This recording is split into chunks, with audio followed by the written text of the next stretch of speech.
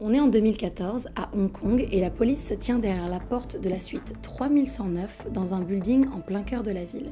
Ils s'apprêtent à ouvrir et à découvrir l'horreur de l'autre côté. Mon nom est Rurik Jotting. Je suis actuellement assis dans mon appartement. Des choses graves se sont produites. Aujourd'hui, je vais vous parler d'un événement qui a choqué la ville d'Hong Kong, le cas Rurik Jotting.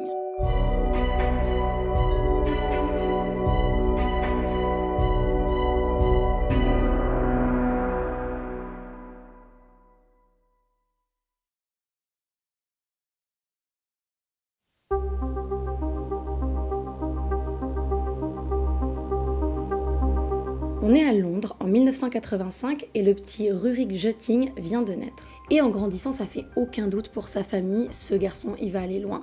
Euh, il est super bon à l'école, il a cette attitude de gagnant, même des fois un peu trop d'ailleurs. Il a des airs supérieurs de temps en temps. Mais bon, euh, on sent qu'il ira loin dans la vie. Et, et c'est le cas parce qu'il est admis dans des écoles prestigieuses, il a des notes excellentes, il a tout pour être le futur président. En fait, c'était ça ou rien pour Ulrich. C'est le genre de garçon qui pouvait être très déçu s'il était deuxième de la classe, il fallait qu'il soit premier à tout prix. Euh, donc voilà, c'est ce type de personne. Pour vous donner un exemple, la mère de Ulrich, elle était super contente que son fils ait réussi des examens d'entrée pour une école super prestigieuse, mais lui, il a trouvé ça super insultant, que sa mère ait cette réaction euh, euh, enthousiaste parce que ça sous-entendait qu'elle était surprise qu'il ait réussi l'examen. Bref, il a fini par obtenir son diplôme d'histoire et de droit à l'université de Cambridge. Mais à la sortie de l'école, il est plus tout à fait le même qu'avant. En fait, il s'est passé deux événements assez traumatisants qui sont venus gâcher un peu ce parcours parfait. Le premier événement, c'est que euh, il a malheureusement vu euh, son père tenter de se suicider alors qu'il était à la maison avec lui. Du coup, il a dû lui apporter les premiers soins en urgence, l'emmener à l'hôpital. Bref, super traumatisant. Le deuxième événement, c'est que euh, élève à l'école l'a agressé sexuellement. Donc voilà, il sort de son parcours scolaire un peu amoché. Du coup, le jeune Rurik commence sa vie active avec quelques traumas. Mais bon, le monde s'arrête pas de tourner pour lui, il étouffe tout ça bien profondément à l'intérieur de lui et il commence à chercher un emploi. Et vous vous en doutez bien, avec son cursus de premier de la classe, il est très vite embauché dans un poste prestigieux de la finance à Londres, d'abord à la Barclays Bank, puis à la Bank of America Merrill Lynch. Ça y est, il est embarqué dans la vie d'adulte. Il se prend un appartement, il travaille sans relâche. Le monde de la finance, c'est un monde où tout va très vite, il y a du stress, de la pression, tu comptes pas forcément tes heures. Et ce monde-là va comme un gant à Rurik. Il donne tout et il gravit rapidement les échelons. Il réussit à se faire sa place dans l'industrie bancaire. Son train de vie de plus en plus confortable, voire luxueux. Son salaire tourne autour de 330 000 dollars par an. Il peut tout se payer, y compris les plus belles escortes. Pour vous donner un ordre d'idée, il dépense 1 million de dollars en deux ans avec des prostituées des fêtes, des excès en tout genre, et puis summum de la réussite professionnelle, il est pressenti pour être le vice-président de la société. Sa carrière est très prometteuse.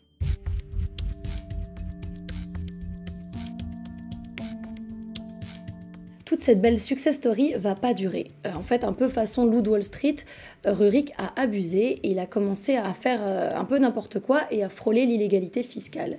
Pour faire plus d'argent, il fait des magouilles et je vais vous passer les détails parce que c'est un peu compliqué, mais il se fait choper. Alors ses boss, pour éviter de faire un scandale qui nuirait à l'image de la société, il l'envoie à Hong Kong où il va devoir avoir un nouveau poste, repartir de zéro et faire ses preuves. Toute l'admiration et tout le succès et toute sa popularité perdu.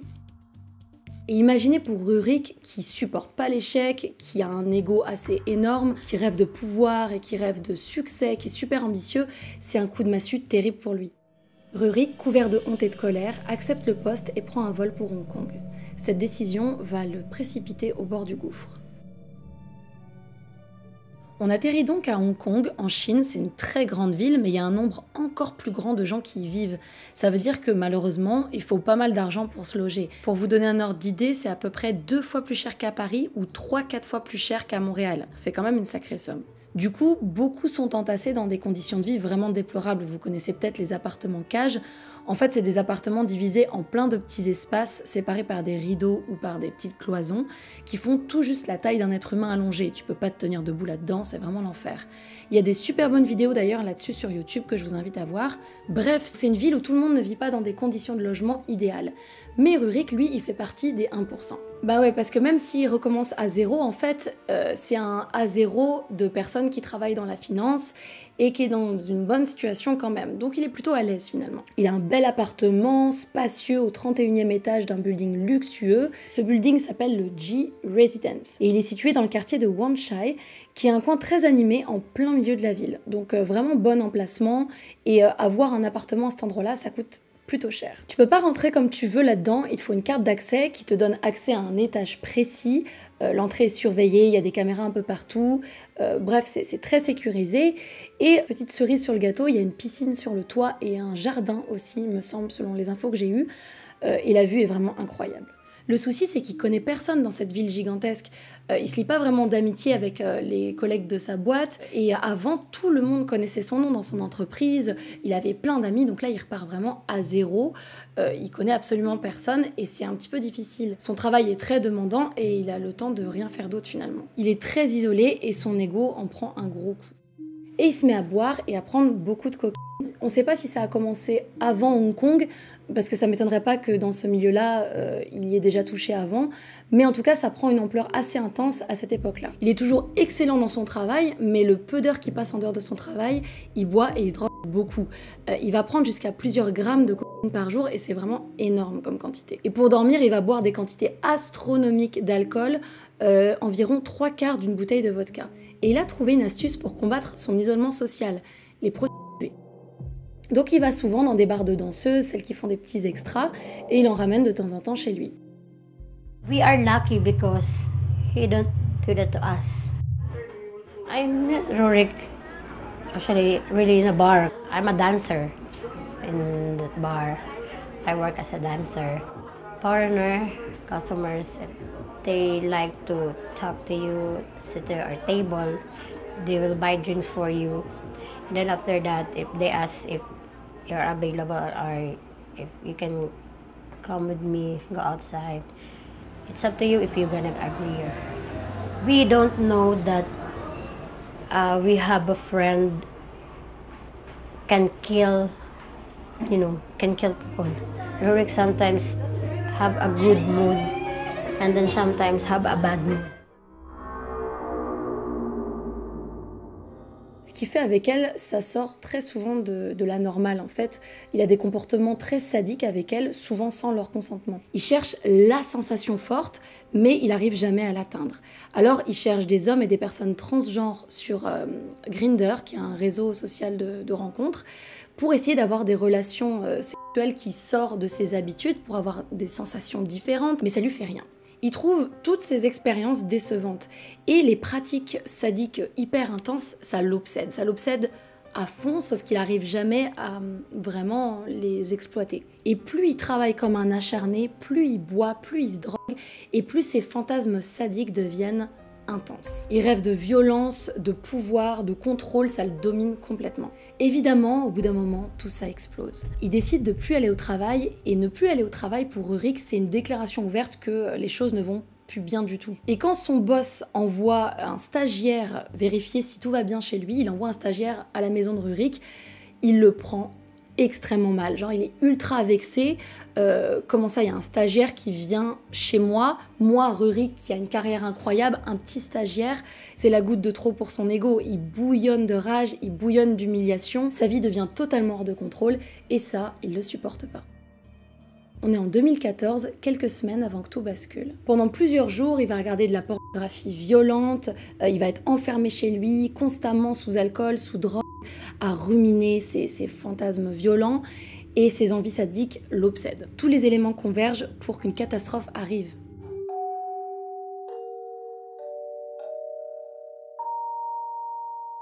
Le 25 octobre 2014, Rurik prend son téléphone et envoie un message à Sumarti Ningsi, je ne sais pas si je vais bien le prononcer, une travailleuse du sexe de 23 ans. Sumarti, elle est d'origine indonésienne, c'est la mère d'une enfant qu'elle a dû laisser là-bas avec sa famille et elle est à Hong Kong pour essayer de faire un peu d'argent pour sa famille. En fait, cette Sumarti, elle est dans son répertoire téléphonique parce que Rurik et elle, ils se connaissent déjà. En fait, ils ont déjà eu des, euh, des rapports sexuels tarifés dans le passé une fois en fait seulement, sauf que ça s'était mal passé et euh, Rurik avait été trop violent avec elle. Du coup, elle lui avait demandé si elle pouvait lui rembourser la moitié de la somme qu'il lui avait donnée pour qu'il la laisse rentrer chez elle. Donc ça s'était très mal passé. Alors pour la convaincre, Rurik lui propose une grosse somme d'argent. Et détail pas très important pour la suite, mais qui révèle quand même un peu le mindset de Rurik. Euh, dans son répertoire, il avait appelé Sumarti Indo, genre I-N-D-O pour indonésienne comme, si Sumarty n'avait pas vraiment de prénom en fait. Bref, Sumarty accepte le deal et ils se rencontrent au club Bunny et après quelques verres, ils montent à l'appartement de Rurik. Au début, les relations sont consenties, mais rapidement, Rurik se laisse envahir par ses envies de violence qui sont contenues depuis trop longtemps. Sumarty, bien sûr, elle veut plus continuer, mais c'est trop tard, Rurik la tient captive. Derrière la porte close de l'appartement 3109, Sumarty va vivre un enfer. Des années d'émotions enfouies et de penchants obscurs ressurgissent, Rurik a franchi une ligne et c'est trop tard pour revenir en arrière. Pendant plusieurs jours, Rurik va boire énormément, il va se droguer et il va torturer Sumarty de toutes les manières imaginables. Je vais pas vous donner des détails trop glauques ici, de toute façon avec YouTube je pourrais pas, mais euh, imaginez le pire et il l'a fait. il a fait vraiment toutes les pratiques qui mélangeaient sadisme et sexualité ensemble. Il utilisait des outils qui n'étaient pas du tout faits pour ce genre de pratique, des, outils coupants, des pinces, euh, vraiment plein de choses. Vraiment, c'est horrible. Des fois, il lui force à parler de son enfant en Indonésie juste pour le plaisir de pouvoir le faire. Euh, il lui a fait se raser les sourcils aussi. Il, lui a fait aller chercher sa ceinture pour qu'il puisse la battre. Enfin, euh, ça c'est vraiment le plus soft. Mais de temps en temps, entre toutes ces tortures, il a des moments étranges où il lui dit qu'il l'aime. Sûrement à cause de toute la, toutes les substances qu'il a pris, mais il joue de manière super malsaine avec le chaud-froid comme ça. Et puis, le troisième jour de sa captivité, Rurik l'a fait s'agenouiller devant la cuvette des toilettes, il lui attache les mains derrière le dos et il l'égorge. Et euh, c'est horrible parce que Sumarty est pas morte sur le coup en fait, euh, il n'a pas réussi à l'achever. Alors il la traîne jusque la douche et euh, il terminera ce qu'il a entrepris dans la douche. Ensuite, il a enveloppé le corps et il l'a placé dans une valise qu'il a laissée sur le balcon. Le lendemain, il reste enfermé toute la journée chez lui. Il va commander une pizza qui va, qui va se faire livrer chez lui et qui va manger à côté du corps sans vie de Sumarty. Mais la folie meurtrière de Rurik n'est pas assouvie. Le 31 octobre 2014, il part acheter des outils, notamment du papier de verre, des clous et un chalumeau. Ensuite, il va modifier le message d'absence de son email professionnel. Vous savez, les messages automatiques qu'on reçoit quand une personne n'est pas là. Je suis absent du bureau indéfiniment. Pour toute demande urgente, ou en fait toute demande, veuillez contacter quelqu'un qui n'est pas un psychopathe insensé. Donc là, euh, c'est clairement déclaration ouverte euh, qui, est en train de partir euh, en live. Cette nuit-là, il sort et il croise le chemin de Seneng Mujiasi, 26 ans. Il l'invite chez lui et elle le suit dans l'appartement 3109. Ils ont commencé à s'embrasser sur le canapé, mais Seneng, là, elle voit quelque chose à côté du canapé. Et en fait, selon les sources, ça diffère. Euh, selon les sources euh, que j'ai pu voir, elle a vu un couteau, selon d'autres sources, elle a vu un baillon, mais en tout cas, ça l'a fait crier. Elle crie et là, Rurik lui met un couteau sous la gorge et lui dit euh, Si tu continues à te débattre, je vais te tuer. Seneng a continué à se débattre, alors il l'a tué. Ensuite, conscience professionnelle oblige, il a appelé son patron pour lui dire de faire attention à la réputation de la banque. Ça, c'est incroyable. En fait, il, a appelé son patron et il a dit Je suis dans de gros ennuis et vous devez faire quelque chose pour protéger la réputation de la banque. C'est cet univers hyper professionnel, hyper carré qui se mêle dans un monde de psychopathes. C'est incroyable. Après avoir pris euh, encore plus de drogue, de cocaïne, il euh, envisage de suicider, mais finalement, il appelle la police. Mon nom est Rurik Joting. Et je suis actuellement assis dans mon appartement à Wanchai. J'essaie de me rendre. Quelle est la nature de votre urgence? De toute évidence, des choses graves se sont produites. Non.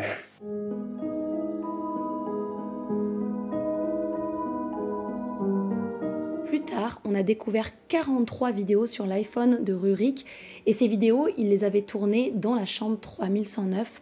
Il avait filmé toutes les tortures et tout ce qu'il avait fait subir à ses victimes. Ces vidéos-là sont pas publiques, le jury pendant le procès a pu les voir, mais euh, elles sont pas disponibles.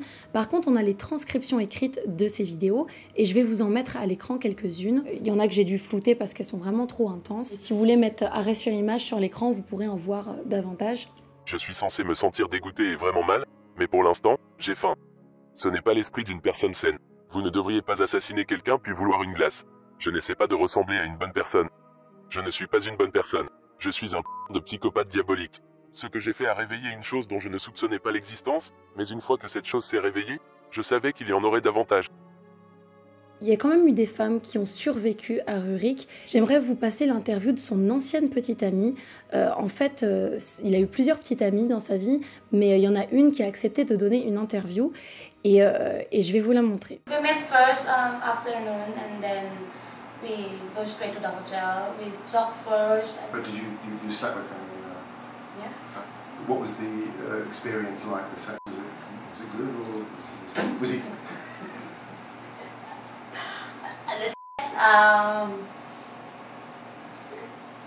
okay. It was good.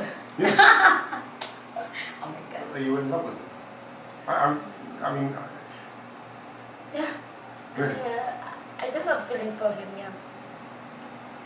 For me, uh, Ruri, he's so he's very sweet.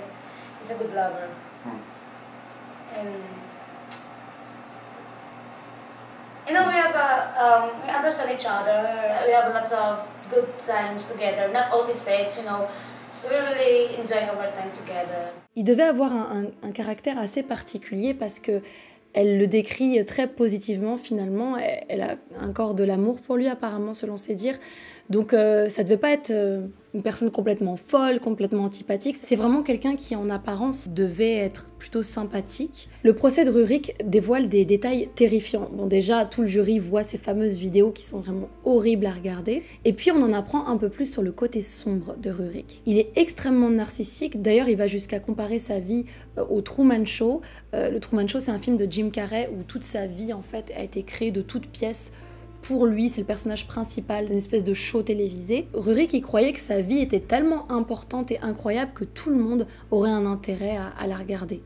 Au procès, le procureur a expliqué que Jutting était calme et conscient euh, pendant qu'il faisait ce qu'il faisait, même avec la drogue l'alcool qu'il avait consommé, euh, alors qu'il était au summum de son agressivité, il était parfaitement maîtrisé, il savait exactement ce qu'il faisait. Et d'ailleurs, il aurait filmé tout ça pour pouvoir euh, revoir les événements plus tard et prendre du plaisir à les regarder. Ce qui est pas clair dans cette affaire-là, vous me direz ce que vous en pensez, mais euh, j'ai pas trouvé l'information, c'est pourquoi Rurik Jutting a appelé la police. Il avait clairement des projets sinistres pour la suite, et euh, je sais pas ce qui l'a poussé à appeler la police exactement, et ça, ça n'a pas été vraiment révélé dans le procès. Bon, en fait, j'ai continué à fouiller et j'ai fini par trouver cette info. Rurik aurait eu des moments d'imprudence pendant qu'il faisait ce qu'il faisait. Il serait notamment allé sur son balcon couvert de sang et il était persuadé que quelqu'un l'avait vu. Alors c'est pour ça qu'il aurait décidé de se rendre. Tout le long de son procès, Rurik est resté impassible devant, euh, devant les faits, devant les vidéos quand elles étaient diffusées. Le seul moment où il y a eu une prise de parole, en fait, c'est même pas lui qui a parlé, c'est son avocat. Son avocat a lu une lettre écrite par Jutting pour demander pardon. Les agissements concernant la mort des deux victimes et mes agissements précédant leur mort étaient atroces même au regard des normes du procès d'assises. Il s'est dit hanté par ses actes et conscient de la douleur exacerbée qu'il a infligée à leurs êtres aimés. Il a été condamné à la réclusion à perpétuité pour avec préméditation et maintenant il est incarcéré dans une prison à Hong Kong, bien loin de sa vie de luxe. D'ailleurs, vous pouvez voir ces photos récentes de Rurik, il a perdu pas mal de poids euh, dans, sa prison. Il restera là-bas pour la majorité de sa vie. Voilà pour l'histoire de Rurik Jutting et euh, cette histoire elle est vraiment super flippante parce que on parle vraiment d'un meurtrier sanguinaire qui se cache derrière un visage en qui on peut avoir confiance. En tout cas, dans notre société, c'est le genre de personnage en qui on, a confiance en général. Je ne sais pas si vous imaginez votre patron en sanguinaire, mais en général, non. Donc, euh, donc je trouve que ouais, c'est une histoire qui est, super euh, troublante. Et le parcours de ce gars-là est assez, assez dingue. En fait, c'est vraiment une descente aux enfers. Et tu vois un peu. Ça me fait penser pas mal au, film American Psycho. D'ailleurs, il a beaucoup été comparé euh, au, personnage principal du film. Je sais pas si vous l'avez vu. Si vous l'avez pas vu, je vous invite à le regarder. Ça, ça ressemble beaucoup à cette histoire-là. Bref, j'espère que cette vidéo vous aura plu. Je vais vous laisser et je vous souhaite de pas faire trop de cauchemars cette nuit. Bye